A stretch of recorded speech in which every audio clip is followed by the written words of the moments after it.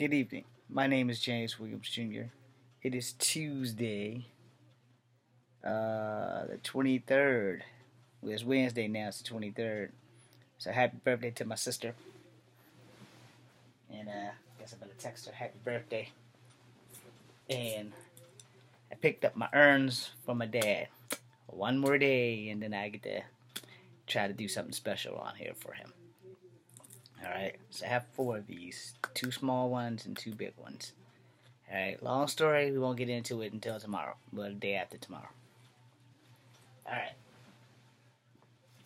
Now, my first blog tonight is going to be about some stuff that's just driving me crazy in my town.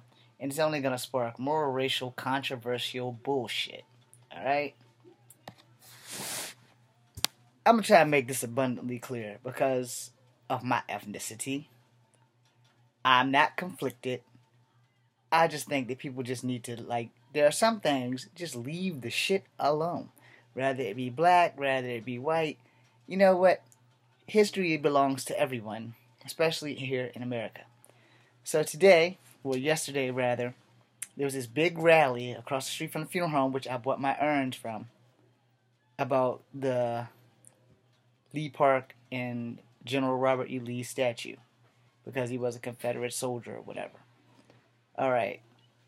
And my second blog will be about chicks who disfigured themselves by piercing their faces. I shall return.